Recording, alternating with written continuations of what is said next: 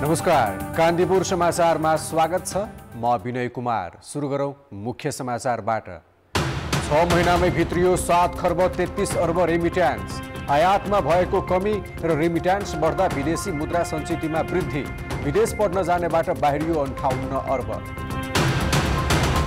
सन्चो उत्पादन गर्ने जडीबुटी कम्पनी आफै बिसन्चो राजनीतिक भर्ती केन्द्र बन्दा लगातार घाटामा जग्गा बेचेर कर्मचारीलाई तलब खुवाइदिए।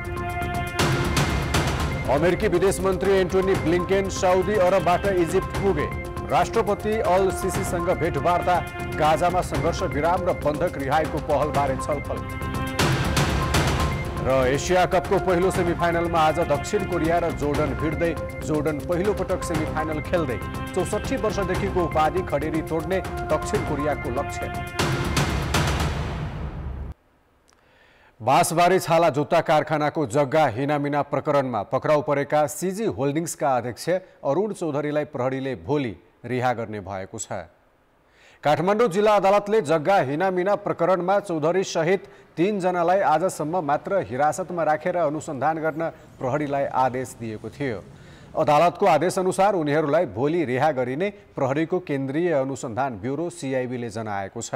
सिआइबीले चौधरीलाई माघ अठार गते पक्राउ गरी चार दिन हिरासतमा राखेर अनुसन्धान गर्ने अनुमति लिएको थियो।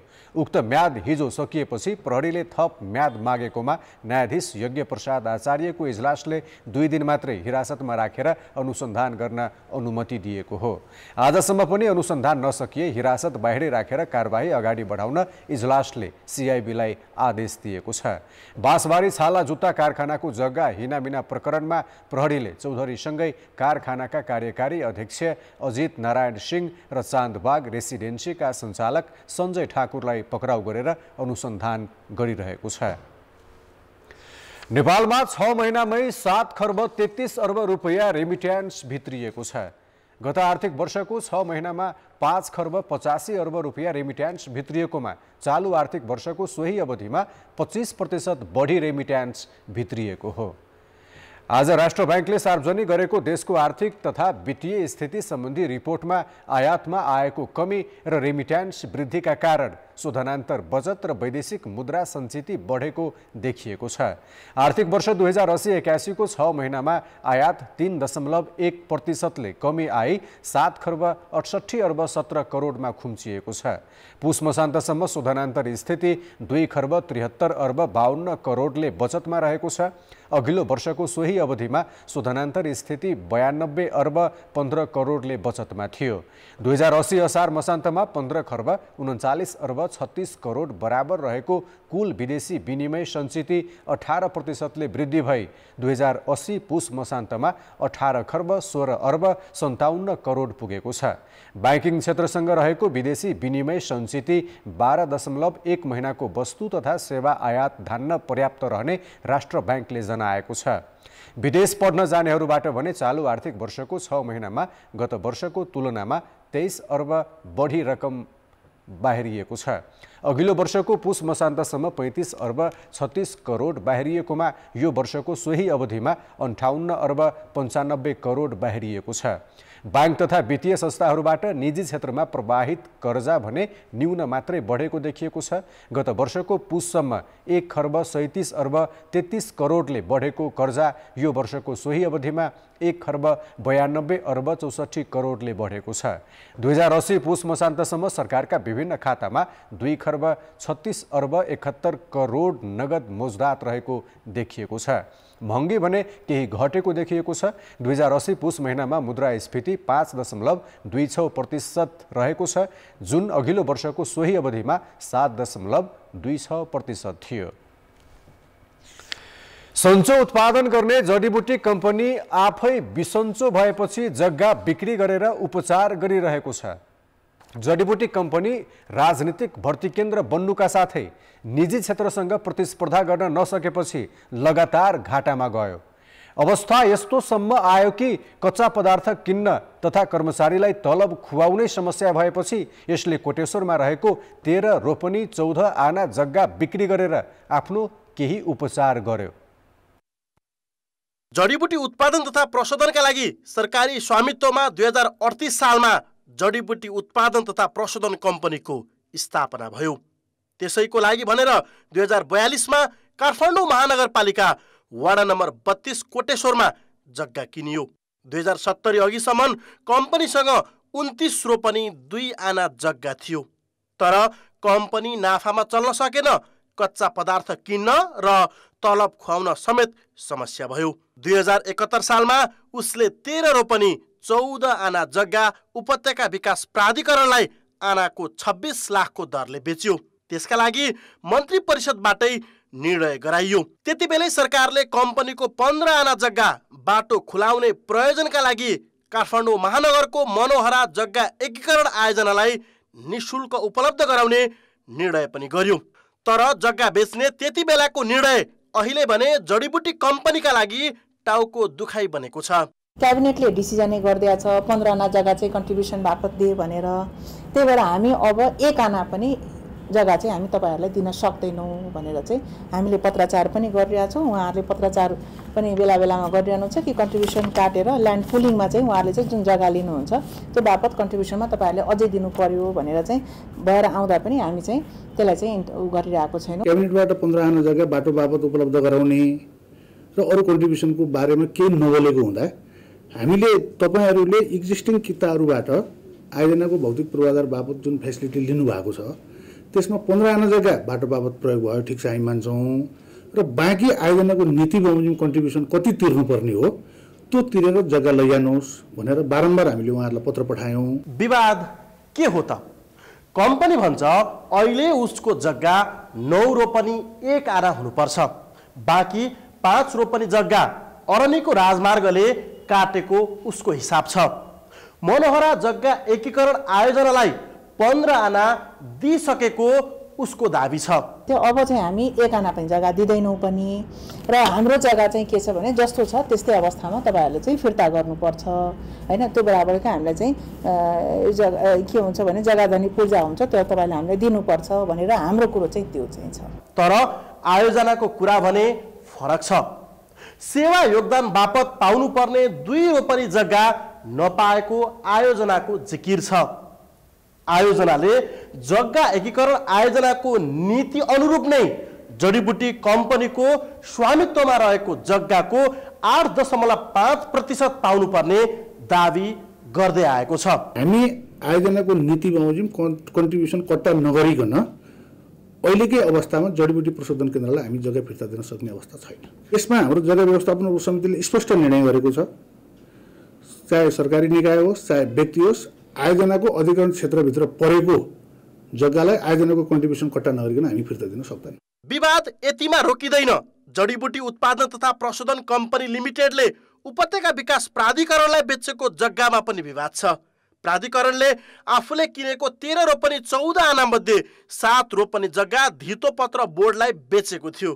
तर त्यति जग्गा बराबर योगदान शुल्क मनोहरा जग्गा एकीकरण आयोजनालाई बोर्ड वा उपत्यका विकास प्राधिकरण कसले बुझाउने भन्नेमा चर्को विवाद छ। स्थानीयवासीले भने जडीबुटी कम्पनीको जग्गा बिक्रीबाटै विवादको बीजारोपण भएको आरोप लगाएका छन्। उनीहरूले जग्गा एकीकरण आयोजना उपत्यका विकास प्राधिकरण र जडीबुटी कम्पनी बीचको विवाद नमिल्दा आफूहरूले समेत धनी पूर्जा नपाएको र कतिपयको जग्गा रोका भएको गुनासो गरेका छन्। बाइस वर्ष भयो। बाइस वर्षमा अहिलेसम्म हाम्रो जग्गा पाएको छैन। नपाउँदाखेरि त एउटा तपाईँ एउटा भनेपछि आएपछि कुनै पनि एउटा संस्थाले काम गर्छ भने त तपाईँको व्यक्तिलाई त चाँडो दिएको राम्रो हो नि त। तपाईँको आए अहिलेको अहिले दियो भने फाइदा भयो। भोलि त दुई वर्ष पछाडि तिन वर्ष पछाडि हाम्रो सक्यो त्यो त गइहाल्यो नि। खोटा सिका छ अहिले पनि अहिले पनि मैले जग्गा पाएको फिर्ता पाएको छैन। जडीबुटी उत्पादन तथा प्रशोधन कम्पनीको सुनसरीको तरहरा मोरङको बेलबारी र बाराको तामागढीमा पनि जग्गा छ। यी हरेक जग्गामा पनि विवाद छ। कतै कम्पनीको जग्गा अतिक्रमणमा परेको छ भने कतिपयमा स्वामित्वकै विवाद कायम छ। कान्तिपुर समाचारका लागि क्यामेरामा विकास जोशीका साथ विकास आचार्य काठमाडौँ। आज फेब्रुअरी छ। नेपालमा पनि इन्टरनेट सुरक्षा दिवस मनाइँदैछ। इन्टरनेटको पहुँचले जनजीवन सहज भएको छ तर इन्टरनेटको सुरक्षित प्रयोग गर्न नसक्दा गलत सूचनाको बाढी र बालबालिका बढी समस्यामा पर्ने गरेको तथ्याङ्कले देखाएको छ। साइबर अपराधका घटना कम गर्दै बालबालिकाहरूका लागि इन्टरनेटको प्रयोग कसरी सुरक्षित बनाउन सकिन्छ त? बालिकाको नाम र तस्बिर राखेर नक्कली फेसबुक अकाउन्ट बनाएका काठमाडौँ किर्तिपुर दस मानाटोलका राजकुमार महर्जन अहिले प्रहरी हिरासतमा छन्।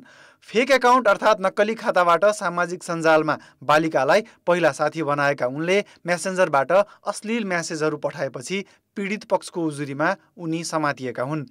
प्युठान जिल्लाको सरुमा रानी गाउँपालिका एकका सगिर अहमद पनि दुबईबाट पक्राउ परेका छन्। उनले नेपालमा रहेकी नाबालिकालाई साथी बनाएर अनलाइनबाट अश्लील क्रियाकलाप गरेका थिए।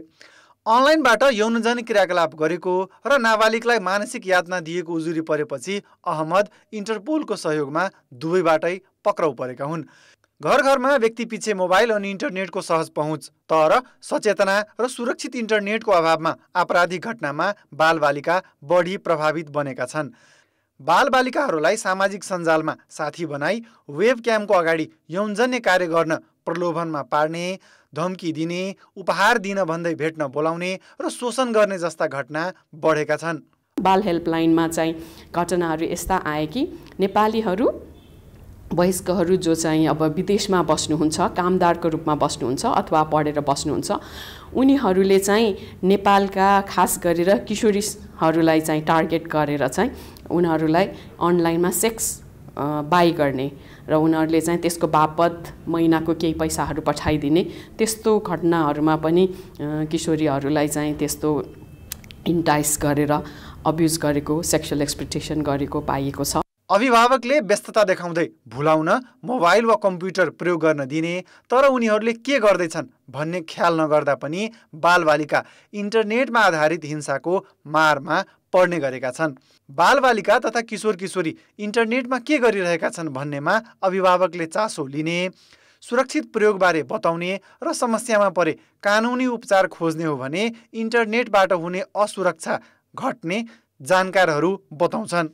गार्जनले चनाखो भएर बच्चाहरूलाई एउटा टाइम म्यानेज गरेर यो टाइम बाबुहरूको लागि अब कम्प्युटर चलाउने वा मोबाइल चलाउने वा गेम गर्ने वा कुनै कुरा गुगलमा सर्चै गर्ने अब कति विद्यार्थीहरूले पढाइ सम्बन्धी सानो बच्चाहरूले पनि सर्च गर्दो रहेछ गुगलबाट होइन? गुगलबाट सर्च गर्दाखेरि त्यसमा पछि चाहिँ गार्जनले पनि उसले के सर्च गरियो त के सर्च गरिरहेछ त त्यो कुरामा गार्जनहरूले अलिक विशेष ध्यान दिनु पऱ्यो किनभने त्यसले गर्दा बच्चाको अब अनवान्टेड साइडहरू हेऱ्यो भने त्यसले बच्चामा नकारात्मक असर पर्छ। अनलाइनबाट हिंसा गर्नु अपराध भएकोले दोषीलाई एक लाख रुपियाँसम्म जरिवाना वा पाँच वर्षसम्म कैद सजाय हुने कानुनी व्यवस्था छ। तर पनि सिस्टम नै ह्याक गरेर सम्पूर्ण सामग्री चोरी गर्ने वा कब्जामा लिने र बालबालिकालाई यौन हिंसा गर्नेहरू उत्तिकै सक्रिय छन्। त्यसैले इन्टरनेट चलाउँदा त्यसबाट हुन सक्ने हानिबाट सावधानी नै हिंसा वा क्षतिबाट जोगिने पहिलो उपाय हो। कान्तिपुर समाचारका लागि क्यामेरामा सञ्जय लुटेलका साथ जितेन्द्र झा काठमाडौँ। नेपाली काङ्ग्रेसले केन्द्रीय सदस्य तथा पूर्व मन्त्री केशव कुमार बुढाथोकीको निधनमा शोक प्रस्ताव पारित गरेको छ। पार्टी कार्यालय सानेपामा आज बसेको काङ्ग्रेस केन्द्रीय समितिको बैठकले बुढाथोकीको निधनमा शोक प्रस्ताव पारित गरेको हो।